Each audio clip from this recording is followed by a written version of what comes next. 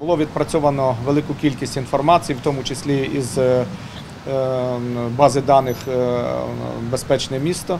Е, Були практично зняті всі показники з камери відеоспостереження. Вчора ввечері вже були проведені відповідно до ухвали суду санкціоновані обшуки за місцем проживання підозрюваної особи.